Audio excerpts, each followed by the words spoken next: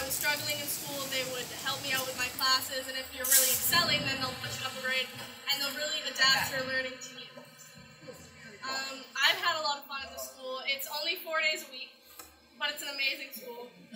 Much better than it's been in Canada. I love the four days a week. I love my three-day weekend, and we get three months off for summer, which is just not the best thing ever. And is your summer December, January, Yes. No, I'm February? in summer right now. It's the Panamanians. Tired of school. Well, No, she follows. you, They follow. you do the We US follow the American program. program, Okay, like the like the American curriculum. So I've got three months off for summer, and I only go to school four days a week. I got off June 9th, and it's not a very stressful school. The teachers are really there to help you out. They're not just there to teach to teach the curriculum, to teach the program. They really want you to learn and to excel in the world.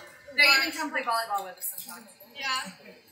They're, they're really cool. Um, and Kaylee, um, what about the? You just went to uh, the city a few months ago to do the United Nations. Oh, for anyone? MUN. Tell them about MUN. Well, we've got an amazing Model United Nations program. It goes once a year, but a bunch of my friends just left. Well, they left a little while ago to Michigan. They came back two weeks ago.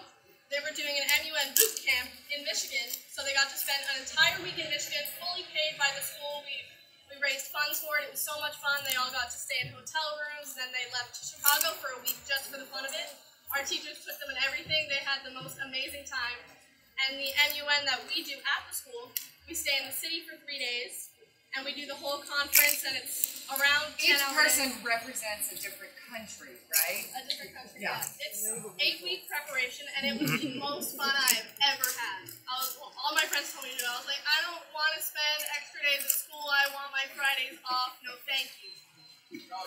But it looked great on college applications, so I tried it out, and it was the most amazing experience ever. We got to stay in a big house for three days, all of us sharing a room, Debating. Yeah. debating. different- It was so much fun. You get to make resolutions.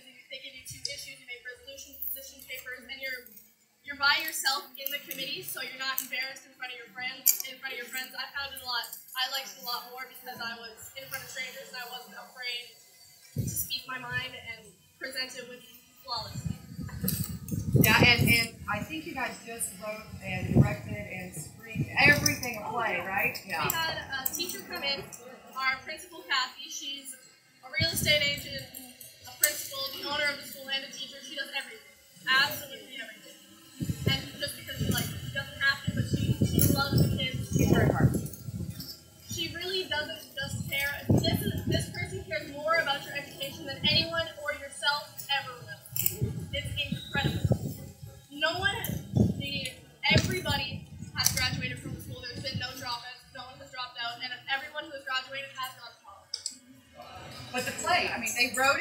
Scripted it, they practiced it, and then they did the, the, the props for it. Yep. It's an hour and a half long. We go from 8 a.m. and we go. So it's super scary to bring your kids to Panama, right? The third world country. Frightening. Just kidding. Um, How many students in the class? How many students? Um, it really depends on the class. Um, some some of them do go by grade, like our English class and our math courses. And for me, I had eight to ten students in my class. But for chemistry and world history, we would have ninth and tenth grade together, and eleventh and twelfth. And usually that one, that class would range from eleven to maybe twenty people. Wow. most. But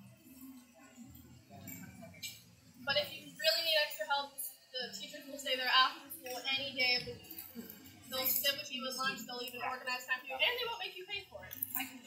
I want to go back to school. I'm just kidding. Actually, I love being in school. Um, So is the school in English? All of it's taught in English? All of it is taught in English, but we do have AP French, AP Spanish if you are fluent in the city. We go do the test for that, and it counts as a full credit. You don't actually have to take a course for it. And we do have Spanish classes or French classes if you'd like to. That's what we did two years ago. Really, anything that you want can adapt into your learning, but you do need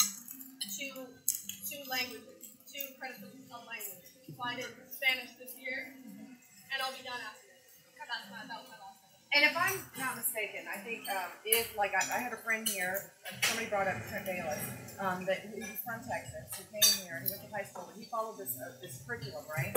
So when if he wanted to go to college in Texas, he wasn't out of state because he followed the, the U.S. curriculum in Texas schools, so he didn't have to pay that out of state tuition. They decide they want to leave Panama, I don't know why you would.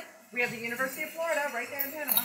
Um, but if you decided you wanted to leave, you wouldn't have that burden of being out of you know, international or out of state. We just had one of the girls, one of her, one of the girls, her name is Mandy. She just moved back to Texas. She did her entire high school online on